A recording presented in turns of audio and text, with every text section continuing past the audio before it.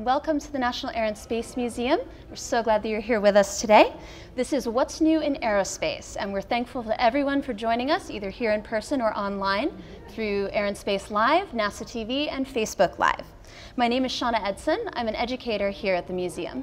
And today we are celebrating the Ingenuity Festival, celebrating innovations in American culture for the past 150 years. And for today's program, we are incredibly honored to have as our special guest Dr. Natalie Batalha. Uh, Natalie is an astrophysicist at the NASA Ames Research Center, and she's currently the project scientist for the Kepler mission. This year, she was named one of Time Magazine's 100 most influential people in the world. We are so pleased to have you here, Natalie. Thank you so much for having me. It's a pleasure to be here. Um, I'd like to remind everyone that you will be able to ask Natalie questions during this program. You can either enter them online or you can step up to the microphone if you're here in person. So, Natalie, what are exoplanets and how do scientists look for them? Exoplanets are just planets like we have in our own solar system, uh, except we've attached this prefix exo, which means outside. And the reason we use that is to emphasize that these are planets orbiting other stars in our galaxy, not not our own sun. So we're searching for planets orbiting other stars like our sun, maybe even one that's a little like home. Yeah, so, so there are different ways of finding them, but I think what's important to understand is that um, we don't necessarily, for, for most of the discoveries that have been made, we're not taking telescopes and slewing them around the sky and saying, aha, there's one or there's one. Most of the planet discoveries are done through indirect techniques. That is, we observe some property of the star that allows us to infer the existence of the planet. And there are a few methods um, that astronomers are currently using. Perhaps one that's most well known is the Doppler method.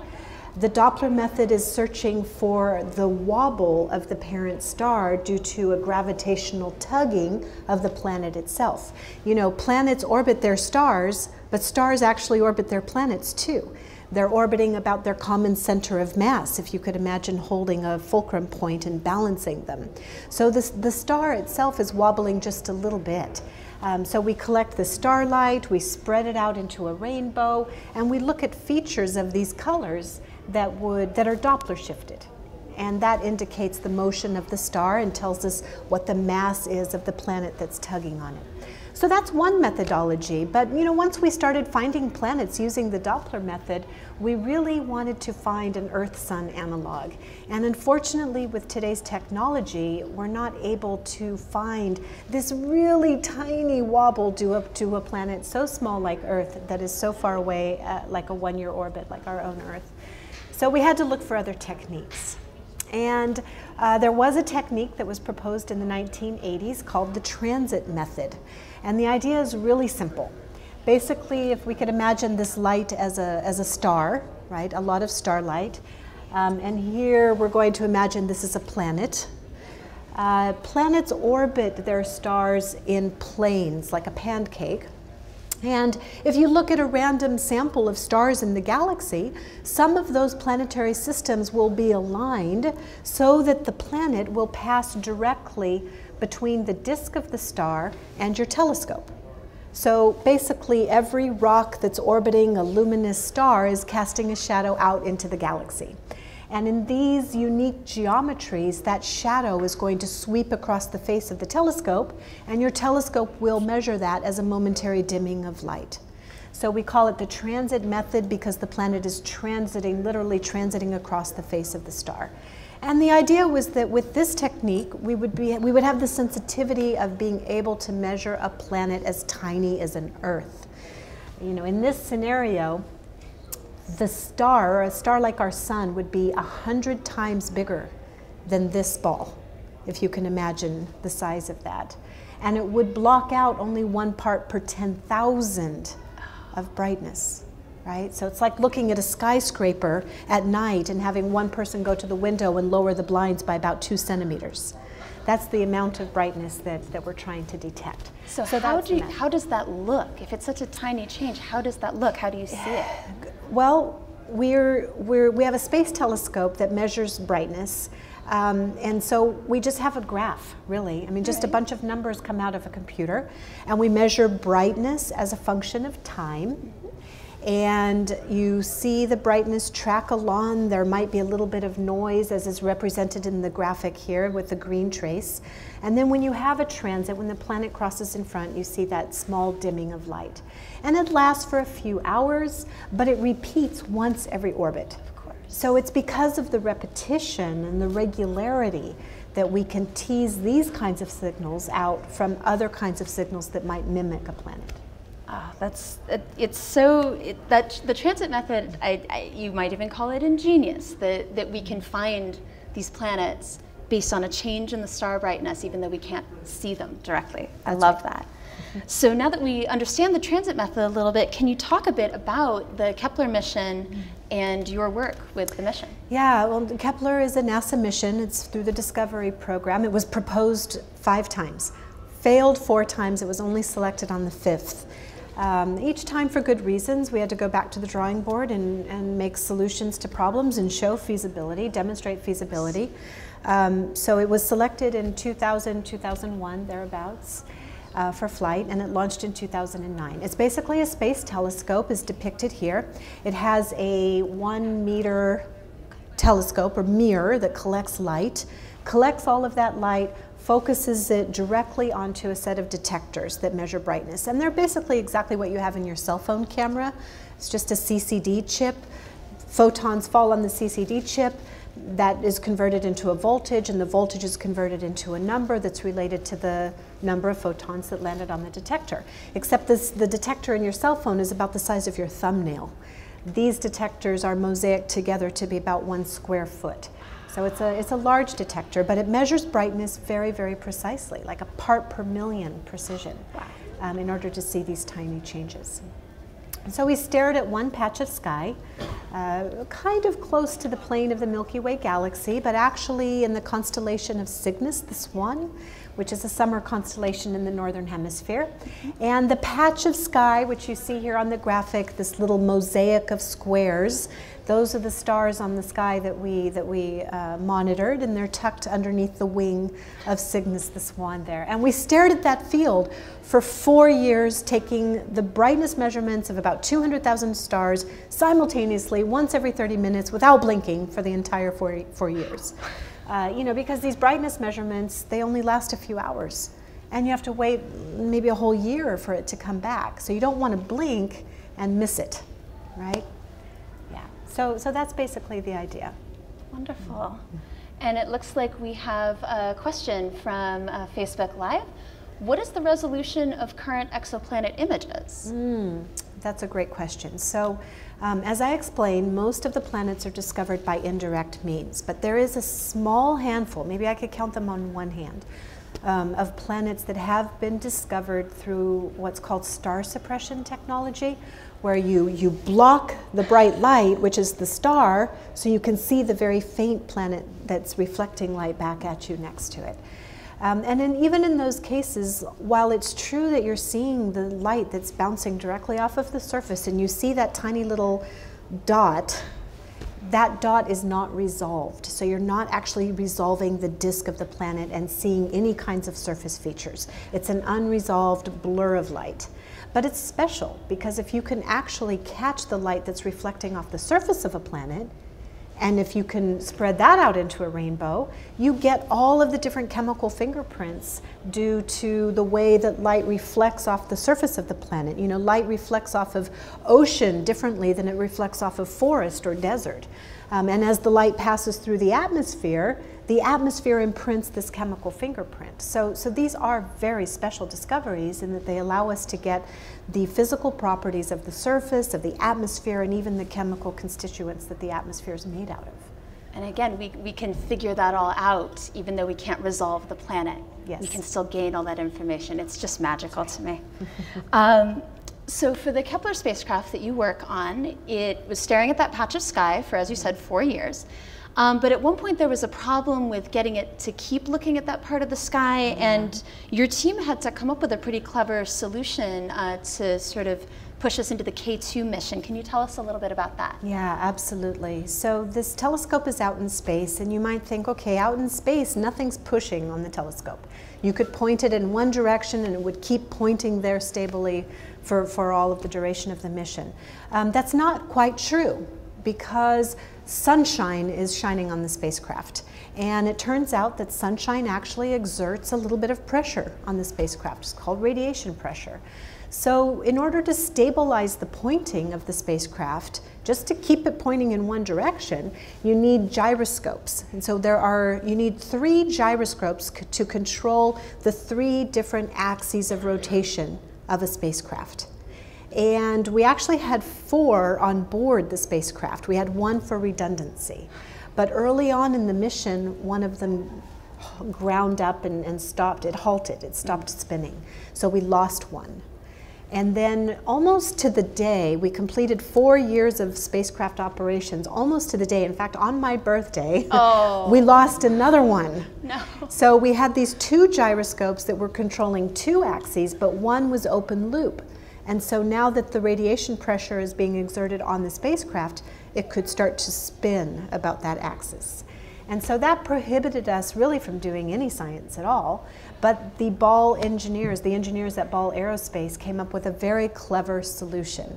They said, well, the spacecraft is actually, it, it has an axis of symmetry. Just like a rowboat. Imagine a rowboat. You know, you've got this the helm of the boat, and it comes down, and it's it's also symmetric about that about that uh, one axis line, yeah. through the center line, right? And the spacecraft also has an axis of symmetry. So if you could take a rowboat and point it directly upstream, so that the water is flowing perfectly symmetrically, then you could balance this, the the rowboat against slewing from side to side. And so we did the same thing with the Kepler spacecraft. We made use of the fact that there's one axis of symmetry, and we pointed that axis of symmetry directly towards the current of light that's flowing towards the spacecraft from the sun. And so that third axis was then perfectly balanced, and we used the gyroscopes to balance the other two. That meant that we couldn't point at Cygnus the Swan because that required that we moved, it required we moved the spacecraft along what's called the ecliptic, which is basically the orbital plane that all the planets orbit, you know, that pancake of the solar system. Um, so it meant that we had to observe different fields of view, but that's actually turned out to be quite fortuitous because it means that we've opened up new science opportunities. Now we got to observe things like asteroids and you know open clusters, these star forming clusters that are you know in the in the galaxy and not necessarily in the location of the center plane of the galaxy um, or the Milky Way. Um, so, so it just opened up a lot of really new science, um, which was exciting. It's so great to take something that seemed like it had gone wrong and to find a way to turn it into new science that you might not have expected. Turn it into an opportunity. Absolutely. Yeah. Uh, that was I, we, we were all very excited when we heard that Kepler was not dead, that we were still that we were still getting and science out of it. Still up there taking data. It and, is. and it should be able to take data for about another year. Oh, great! Hey, we will keep following that. All right, so, so Kepler is still running, and it was one of the first missions that was dedicated to searching for exoplanets. Mm -hmm. um, but there are some exciting new future missions, uh, such as the Transiting Exoplanet Survey Satellite TESS mm -hmm. and the James Webb Space Telescope. And both of those are expected to really revolutionize how we're able to see the sky. So, can you tell us a little bit about how those future missions might? Uh, change the science, what, what we might be able to find yeah, using those. Absolutely, and, and maybe I should also back up, you, you had asked, uh, you know, what, what are the main science results from Kepler itself? Like what did we learn from Kepler? Yes. Um, and that kind of factors into the story because mm. it affects our long-term planning. You know, Kepler was selected to really answer one fundamental question, which is what is the fraction of stars in the galaxy that harbor potentially habitable planets? We needed this number. We needed to know if planets like Earth were common or rare. We needed to know how far we would have to look out before seeing large numbers of them that we could study. And so that's a number that Kepler provided for us. We learned that the galaxy is home to over 10 billion potentially habitable planets. Um, we learned that on average, every star that you see in the sky, on average, has at least one planet actually more like two. Um, so Kepler, in that sense, was a statistical mission. We stared at this one patch of sky in the direction of Cygnus the Swan in order to do a demographic study of exoplanet populations. Um, the next step, as you mentioned, is the TESS spacecraft, which is going to do what Kepler did. It's going to look for planets using the transit methodology, right? Um, but it has four cameras in its, in its barrel, each angled so that they're staring at a slightly different part of the sky. And in fact, they form a, a longitude strip that goes from the pole down to the equator. So they can stare at one longitude strip and they will do so for about 30 days and then they're going to clock over and do the next longitude strip and so on and so forth, clocking around the entire southern hemisphere sky. And then they're going to do that for a year. And then the next year they're going to flip and they're going to survey the entire northern hemisphere. So, so in this way, they're going to do a complete survey of all of the nearby star systems to try and find the nearest planetary systems that are in this just right geometry of, of transit. Um, that's important because in 2019, we're going to launch the James Webb Space Telescope, which is the successor to the Hubble Space Telescope. And what the James Webb Space Telescope will do is observe these transiting planets mm -hmm. when they're in the transit position. In this very special position, when you have a star and a planet in front, some of the starlight is going to filter right through that thin atmosphere that hugs the planet. And so that atmosphere again will impart its chemical fingerprint on the light.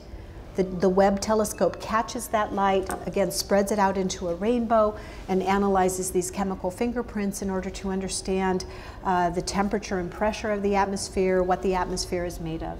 Um, so we're entering really a new decade of exoplanet exploration, which is the characterization of their atmospheres. And that's what Tess and Webb as kind of a dynamic duo will do together. Oh, that's so great.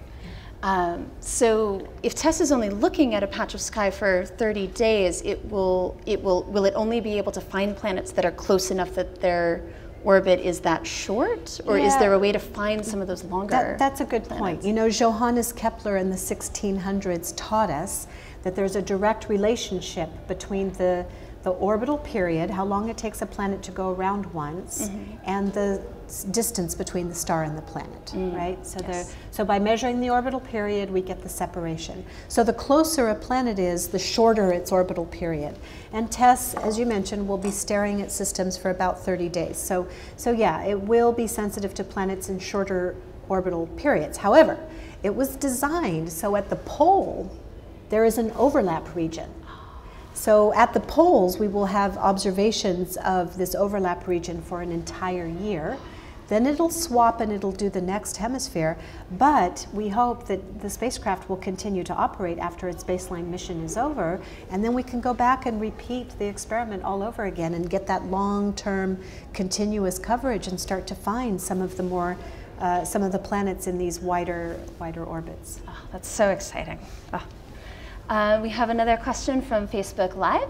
Um, is there a set schedule for what Kepler looks at? Right now with the K2 mission, yes.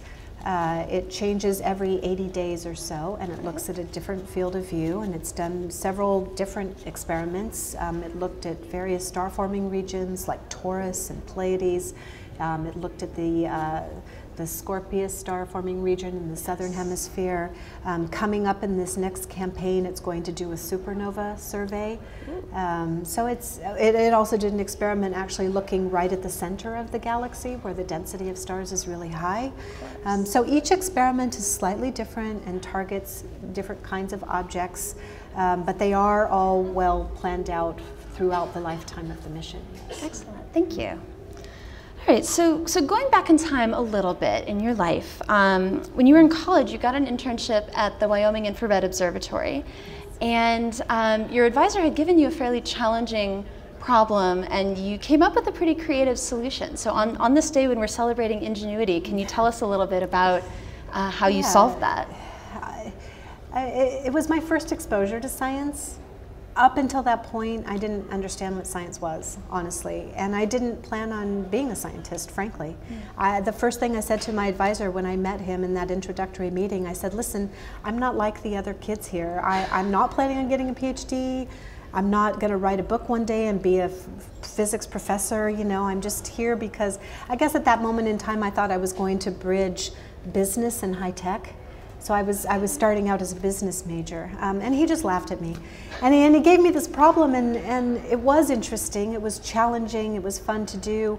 Uh, we were looking at these rainbows, you know, from stars. Kind of, they were baby suns. Oh. Uh, one star in particular called HL Tau. It's one of the stars in the Taurus star forming region. And there was some indication that this star had infalling material. It was still forming. Okay.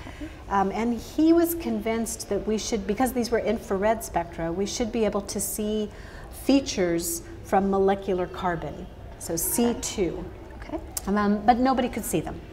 And it turns out that the reason that they couldn't see them was because of the way that they were analyzing the data. And so I dug back down to the pixel, original pixels that came off the spacecraft and figure out a way, figured out a way to analyze the data that teased out these very weak signals of C2 that ended up to be smoking gun evidence of infalling accretion onto the star from the circumstellar material. Um, but, but the main takeaway from that is that once you see something that nobody else in the world has ever seen before, you're looking at something new, and you have that thrill of actually solving a, a challenging problem, it's addicting. I mean, it's, it's so fun. I, I think kids these days don't understand what it means to do science. I mean, it's really that, that kid-like exploration that we all you know knew when we were kids and seem to have lost over the years. Um, and I felt like I recovered that, and, and it was it was really wonderful. And so, of course, here I am. well, and that's so wonderful because that is that's why we do this. Is, yes, is the, the, thrill of that. The thrill of discovery. Oh, that's, that's, so right. wonderful. Pushing boundaries, pushing the frontiers, and I think learning um, about our place in the universe is it gives us gives meaning to our lives. Yes. Um, for me, that's been very a very important part of why I do science. I think I was a kid who was always looking to understand why we're here, what we're doing here, and what's the purpose of our existence. And of course, I don't have all those answers, but learning about the universe has showed me, it has given me a very deep reverence for mystery you know, to just kind of sit back and say, yes, it's mysterious and it's really beautiful. And I'm just so grateful that I'm this little part of the universe that's become self aware, and I'm just going to recognize how precious that is and enjoy it. Absolutely. Yeah. The, the beauty of science is we will never have it all figured out. There will always be things to be curious about. Yeah, but maybe there's no limit to what we can know at exactly. the same time. Exactly. That's exciting in and of itself. Absolutely. We have a question from our on-site audience. Hello. Um, my name's Eddie Ivano, and I'm with the Foundation of World Peace. I was a little history on you. If you were interested in this as a young girl growing up in grammar school and uh, to become a doctor and a scientist and an en engineer. Um, and if you worked yeah. along with children uh, like nowadays to right. inspire them to have the inspiration that you have. Yeah, so you're asking if I was interested in this as a young child. Right. Um, and the answer is surprisingly no. I, I really wasn't. Um, I didn't, and it's because I didn't know what science was. Even all the way up through high school and the beginning of college, you know, I, I think it was not that I thought that it was something I couldn't do because I was always really good at mathematics. I excelled. I was always top of the class in math. Um, it's just that I didn't see that it fit my understanding of who I am and what my strengths were. I wanted to do something that helped people. I wanted to talk to people. I pictured a scientist, honestly, as a person who wore a white lab coat and sat in a room all by himself pouring chemicals into beakers. And that just didn't fit with my understanding of who I thought I was and what my strengths were. It wasn't until I learned what science is and that it does involve all of those factors me talking to people, working on a team, solving complex problems together, relying on one another, and the different ingenuity that every single person brings to the table. That I realize that all of those skill sets do come together in that endeavor. Um, so I didn't come to that realization until much later in life. And I find that that's common amongst a lot of females in particular. Mm. Yeah. Thank you. We have another question from our audience. Hello. Uh, thank you. Uh, quick two-part question. I'm sure launch day for these satellites is very nervous and anxiety-ridden and exciting. where do you watch the, the launch? Uh, and secondly, uh, both for Kepler and, and where you anticipate TESS and, and James Webb. And then also, do you envision a day where mankind will actually visit some of these exoplanets that you've discovered? It's a great question. I, I get that question a lot because, of course, that's what we all dream of. Um, the first question I've only had the opportunity to attend one launch, and that was the Kepler launch. Um, as part of the team, I did get to go out to Cape Canaveral and, and see it. And, and you asked if I was nervous. Uh, surprisingly, no. It's probably because of my naivete. You know, you just kind of leave it all in the hands of the, of the engineers and assume it's all going to go off flawlessly because, of course, it always does. Well, it doesn't always. In fact, the week before Kepler launched, the OCO spacecraft, it was a carbon observing satellite, was launched from Vandenberg, and the, the fairing of the rocket didn't open, and it went right into the Atlantic. And so, yeah, that was nerve wracking. Um, but what they did was they looked at the parts list for, the, uh, for that spacecraft, you know, thousands and thousands of parts, I mean, down to every nut, bolt, and screw they looked at them and they looked at the parts list for Kepler to see if there were any parts in common. Um, and so it slipped the launch by a couple of days, but um, in the end they found that there were no parts in common and there was little risk of it happening again. But so standing there, I mean, it was kind of surreal to think I'd already by that point been working on the mission for nine years. It's a long time. It was my whole career, basically. Um, but I had total confidence that it was going to, everything was going to go very smoothly. So it was a very joyful experience. All right, and I think we have one more question from our online audience. Can the spectral absorption lines from a planet tell us what the planet is like? Uh, can tell us if the planet has life. Ah. Yeah, that's a great question. That's the ultimate objective. You know, as I said, that light passing, either bouncing off of the surface or passing through an atmosphere, carries with it this chemical fingerprint. Um, and what we want to do, one of the pathways for finding evidence of life beyond the solar system is to look for worlds where life has taken a global hold on the planet. It's really transformed it into a living world by creating a global biosphere. And what that means is that all the metabolic byproducts of life are, are influencing the atmosphere in a, in a very um, significant way. So if we look at the chemical fingerprints of, of atoms and molecules in the atmosphere, we should be able to, we hope that we'll be able to tell if a world is a living world or or a lifeless world. Um, that's exactly the objective and what we will be doing on the kind of the 30 year horizon. Yeah, And that, that's one of the most fundamental questions, I suppose. Yes. It's something that humans have always wondered and pursued. Yeah. Are we alone? And that's absolutely. It's an incredible thing to be to be pursuing. Yeah. All right. Um, I'd like to close, I guess, with you know you, you've had this amazing life. We don't have too much time, but just what what advice do you have for someone who wants to go into a career like what you have? Um, you know, I this morning I read a book to children upstairs it was a, a wonderful book, but it gave the impression right out the gate that in order to be a scientist or an engineer, you had to demonstrate some kind of genius at a very early age. And I think that that's a huge fallacy. I think that uh, science is definitely hard, but it's it's something that anybody can do. And what distinguishes yes. somebody like me from somebody who doesn't do science or but yet maybe wanted to is just persistence. Yeah. I was really Absolutely. bad at physics when I first started it. So sorry. Yeah, um, but but I persisted. So I think Absolutely. that's the most important thing. Persistence. We have to end it there, Natalie. Thank you so much for joining us. Thank I also want to thank me. our sponsor, Boeing, for this program. Thank you all for watching.